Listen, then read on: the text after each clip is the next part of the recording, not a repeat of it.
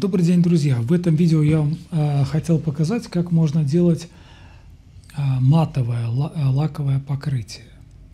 Не всем работам идет глянцевое покрытие, белым, светлым, точнее масляным работам не идет глянец, как правило. Идет такой полуматовый или матовый даже.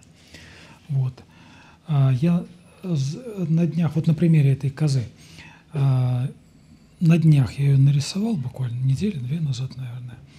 Вот она, как только высохла, можно покрывать акриловым лаком, художественными лаками, э, домарными, акрилфисташковыми. Покрывать сразу нельзя, нужно выжидать э, от нескольких месяцев до года, кто как. Особенно зависит от слоя. Вот здесь, кстати, слой достаточно местами э, приличный, акрилу все равно, то есть акрил не натягивает, не, не разорвет, не даст микротрещин, не поднимет э, краски, не размоет. То есть акрилу э, выжидать не, не нужно какое-то время. Я об этом более подробно когда-то говорил в каких-то видео. А, вот, э, лак акриловый э, очень прочный. Я сейчас говорю о альпине. А, это акриловый лак для паркета глянцевый очень крепкие, очень качественные. Я перепробовал многие лаки. Если не брать художественных, которые очень дорогие, а они в принципе ничем не отличаются от акрилового лака, э, такого какого-то строительного или вот в данном случае паркетного, это акрилат, растворенный в воде, там есть пластификаторы, а, какие-то добавки. В общем, точно такой же состав, как и в художественных акриловых лаках. Вот. Так что э, я к тому, что перепробовал многие, вот этот, ну, это э, практически, наверное, самый лучший, который мне попадался. Он густой, он очень прочный, нет запаха, э, очень глянцевый, э, хорошая адгезия к маслу. В отличие, кстати, от, от э, акриловых красок, которые не ложатся на э, масло – поскольку в нем там есть э, достаточно большое количество и наполнителей, и самого пигмента, у него клеющая способность, при, прилипающая способность не очень высокая. У акриловых лаков она намного выше. Это вот реально как очень хороший клей. Где-то я э, делал уже подобные эксперименты, как держится акриловый лак на масле, э, приклеивал э, ну, просто э, на поверхность масляную разливал акриловый лак, даже более плохие, не альпины, я сейчас, возможно, даже попробую для этого видео сделать эксперимент, как альпины держатся на масле, если не поленюсь. Э, я даже ВГТ делал, он намного хуже, акриловый лак ВГТ. Э, и то он, тряпочка приклеенная через этот акриловый лак на масло, отрывает, э, он не сходит как таковой, он сходит вместе с маслом, он рвет масло. То есть адгезия, прилипание э, идеальное. Вот. Это что касается покрытия акрилового лака, э, масляных работ. Я этим пользуюсь широко. У меня аллергия на всякие домарные и э, акрилфисташковые лаки. Просто, ну, вы многие понимаете, у него лак чудо... запах чудовищный у этих лаков. Вот. А этот э, блестит точно так же. Вот гляньте. Тут я, кстати, не добивался. Это одно покрытие всего лишь, вот я не знаю как покажу, вот, чтобы окно отражалось или лампа. Вот видите, здесь всего лишь одно покрытие. Если еще один раз слой, э, слоем покрыть, э, не, до прихма, не до прихватывания, а просто покрыть и оставить высыхать, будет блестеть точно так же, как и э, акрилстирольный. Домарный я уже сравнивал на темном один в один глянцевость. То есть поднимает цвет тени точно так же, как и Э, художественные э, э, домарные фисташковые лаки. Вот. Я почему на этой работе хотел... Здесь много темных мест, и они достаточно выпукло написаны. Бликуют не очень хорошо, то есть такими как бы кусочками, видите, наверное, вот, как вам сказать, вот не знаю, видно будет или нет, как бы по отдельности, как мозаика такая, как стекла разбитые – вот. Здесь у меня нет сатиновых лаков, они есть в продаже художественные сатиновые там, из баллончиков, но можно сделать просто акриловым лаком. Сейчас я вам покажу, как э, можно попробовать. Э, особенно это удобно на малых работах. На больших я пробовал, сноровка нужна. На малых работах это вполне удобно. Так вот, Можно это сделать сразу по, по работе маслом. А можно покрыть сначала вот в один слой глянцево, а потом а, сделать матовое покрытие. Итак, так вот, нам понадобится чистая губка. Вот у меня тут кошки бегают, надо смотреть, чтобы волос не было, шерсти. А, вот, кстати, покрывал тоже работу этой альпиной. Вот она высохла на губке с одной стороны. Вот такая твердая, мощная, очень эластичная получается. Попробуйте. Вот это очень хороший э, лак. Альпина, э, говорил или нет, это по лицензии э, по немецкой технологии делают в Беларуси. Качество очень хорошее, э, как и многое, что делают в Беларуси. Вот. Смотрите, берем определенное, ой, тут полное количество лака, не очень большое, это опытным путем, тут невозможно определить, сколько нужно этого лака. Вот я, возможно, даже перелил. Но губка большая, она в себя возьмет. Растираем по поверхности равномерно. Чем больше картина, тем более оперативно придется делать, работать. Ну, можно справиться и с большими работами. Я покрывал матовым большие белые работы до метра. Вот теперь нам нужно растирать в разных направлениях и ждать, когда начнет подхватывать. Подхватывать, то есть склеиваться, э, выходит вода, и он акрил начинает густеть. Вот я здесь слегка лишнего налил, поэтому этот, э, этот момент наступит, возможно, через минуту. Можно э, или подождать, или немножко вот так вот воздух погонять, или даже феном попробовать, ну, если некогда. Вот. Но я, наверное, подожду.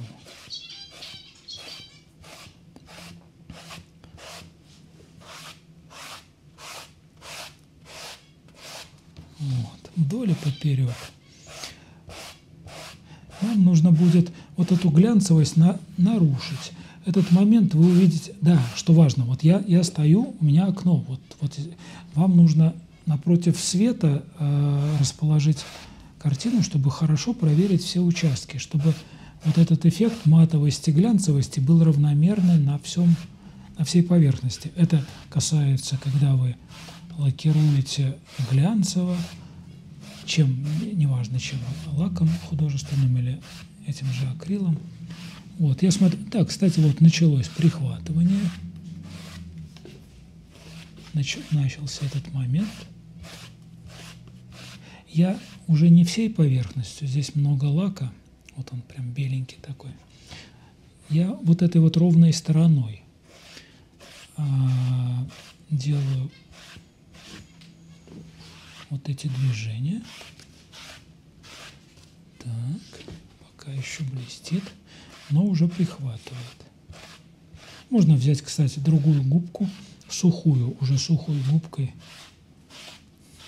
матировать, если назовем это так, делать матовое, сатиновое покрытие. Матовое, конечно, не получится, именно жестко матовое, но такое спокойное сатиновое, ну такой средний эффект матовости добиться легко. Вот уже конкретно подхватывает губку, прихватывает точнее.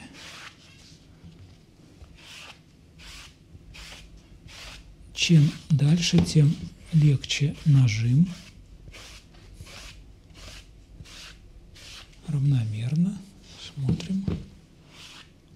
И чем больше это, вот этого делать процедуру, тем сильнее эффект будет. Но, ну, повторюсь, до определенного момента. Совсем матово у нас не получится. Так, ну, наверное, все. Сейчас можно подсушить феном.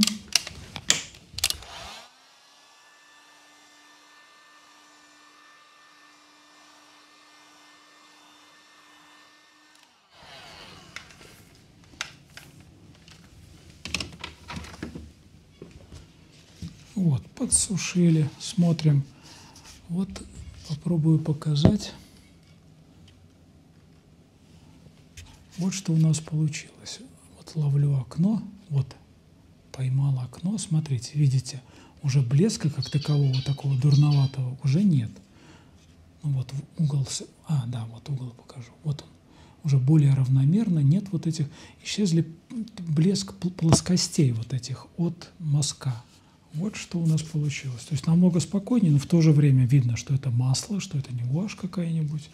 То есть блеск остается. А, еще немножко, если бы я продолжил вот эти движения, было бы еще немножко более спокойно. Вот. Если эффект вам не понравился, или какие-то вдруг полосы э, получились, ну вот если большой размер, такой может где-то вот матово, а где-то немножко блеск такой, вообще не переживайте, потому что вот так подсушили, дали постоять, там часик можно, или если феном, то можно там 5 минут просушить. Вот, и, и покрыть э, заново э, тем же лаком. Тут слоев, слои очень тонкие получаются. Главное не переливать вот этого лака. Тут, как у меня сейчас получилось, немножко перелил. Э, слои тонкие достаточно. И можно опять же глянцевую сделать или опять матовую. Вот как, как получится, как, э, как, как вам необходимо. Хоть раз 10 покрывайте. Главное, повторюсь, не очень не, не злоупотребляйте с лакировкой. Вот картинка тоже. Зачем-то я ее покрыл э, глянцем. Не знаю зачем. Но белому это абсолютно не нужно. Почему не нужно? Бе на белом э, Видеоурок, кстати, есть на моем бусте канале по этой зиме. А, переходите, смотрите. А, что хотел сказать. На белом. Белый не, не откликается практически на блеск. Ну, то есть, что он есть, что, что нету, под углами плохо видно. А на темном, если это рядом с белым, видно хорошо. Поэтому какой-то диссонанс возникает. Белое не, вроде не блестит, а темное блестит хорошо, если лаки, лакировано а, хорошенько, так, ну, глянцевым лаком. Вот. Поэтому белое считается у художников э, лучше или вообще не покрывать, или э, покрывать матовым, сатиновым. Вот я попробую повторить эту процедуру. Вот здесь я, кстати, налил столько, сколько нужно. Кстати, и здесь лак есть. Это акриловый лак у меня был покрыт. Я покрываю, опять же, эту процедуру хочу немножко сделать более матовое, матовое спокойное состояние. А, смотрите, не, нежелательно покрывать работы, написанные уже, а, покрытые уже художественным э, лаком. Вот если каким-нибудь там домарным лаком покрыто, и вы захотели прям поверху э, покрыть матовым акрилом. При, э, желательно тогда смыть этот лак. Смыть э, скипидаром смываются художественные лаки. Прям наливаются немножко губкой раз, вытер, размыл, еще немножко наливается скипидар, разнес, вытер, все, лак снят. Он очень легко снимается. Вот. Почему нельзя поверху? Потому что особенно даммарные лаки желтеют со временем. Вам, возможно, захочется желтевшую вот этот слой смыть, а уже не получится, акрил не смывается. Точнее, есть какие-то специальные смывки для акрила, но они настолько агрессивные, что смоют и вашу живопись. Так что, если захотите перекрыть а, блестящую работу под домарным или акрил фисташковым лаком, их необходимо отмыть. Так.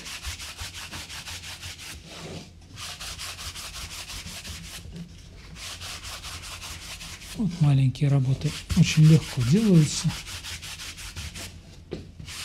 Для больших работ можно большую губку, кстати, взять, тогда такую автомобильную. Автомобильную нет, они все круглые, не пойдет. Нам нужен ровный, ровный срез.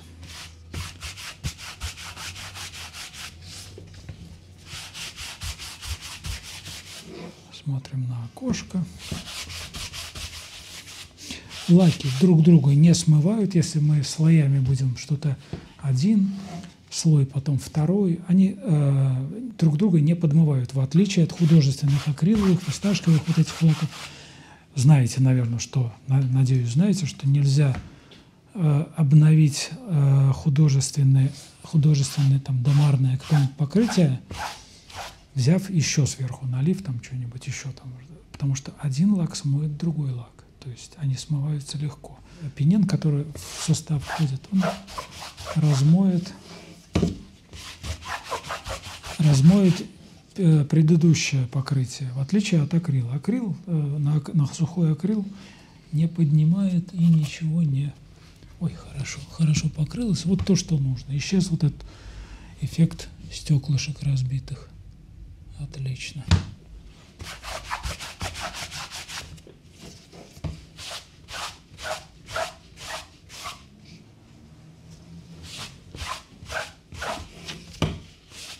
Вот нужно смотреть, чтобы не было полос таких вот одна матовая, вторая не матовая. Вот, все, прям звук слышите? Вот здесь я максимально, а, максимально возможный, возможный эффект вот этой процедуры попробовал сделать до такого звука резинового. Вот. Сейчас подсушим.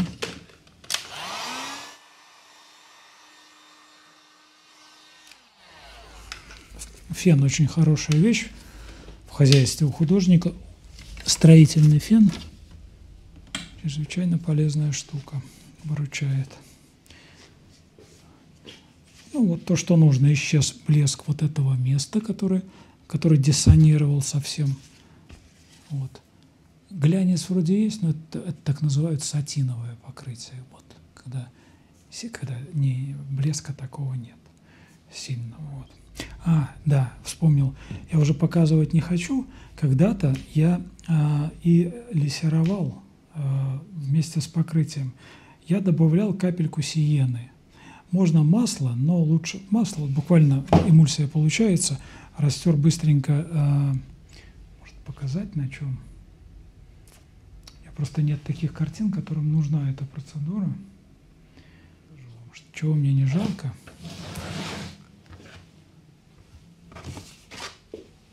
Вот эту козу я хотел дописывать. Вот смотрите, берем та же процедура. Кстати, здесь та же история. Нужно понижать глянцевость. Она немножко из-за мазочков немножко играет. Так. Хватит.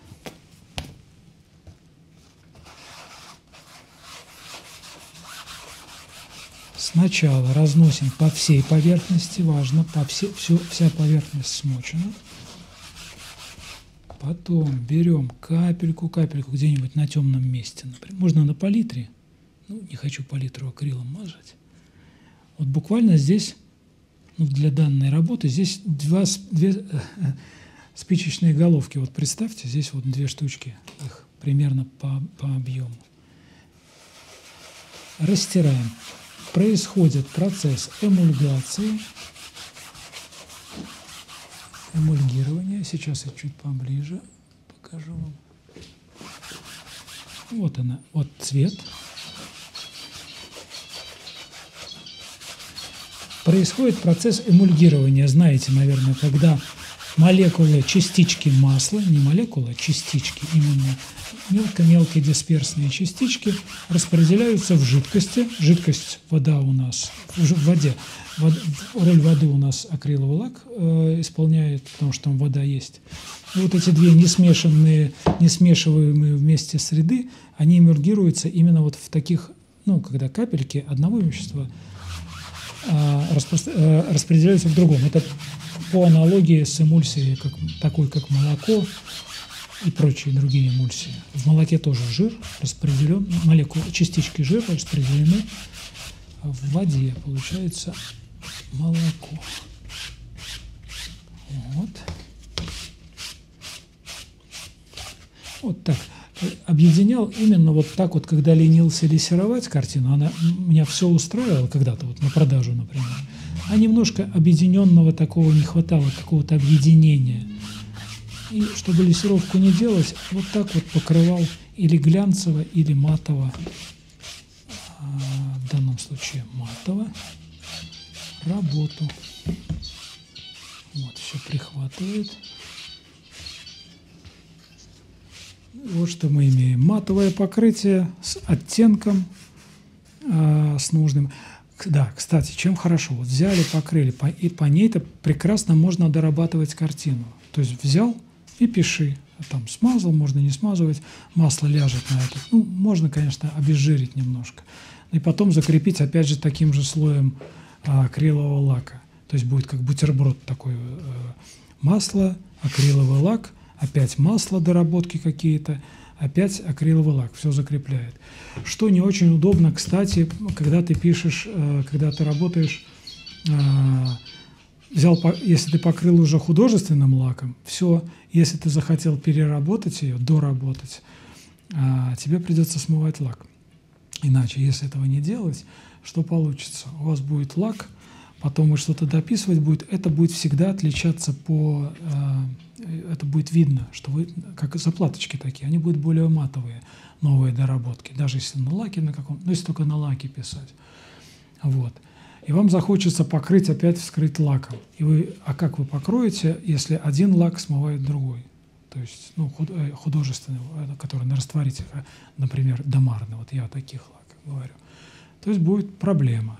Только с, с этого с баллона покрывать, ну или же опять же акриловым лаком. Ему все равно, что покрывать, он ничего не... Он химически нейтральный, он все склеит, но ничего не поднимет, ничего не растворит.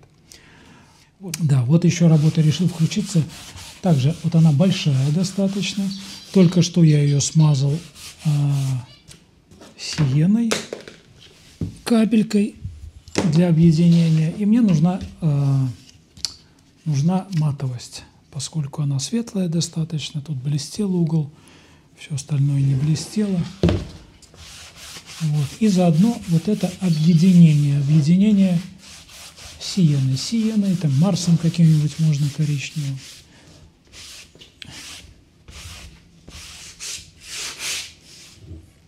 Ну вот, три минуты, а, и результат объединилось вот это, эти углы уже не так блестят, вот здесь блестело слишком. Вот. И плюс такое общее э, коричневое объединение. И затекание даже в такие места, не знаю, вот, наверное, камера возьмет, не возьмет.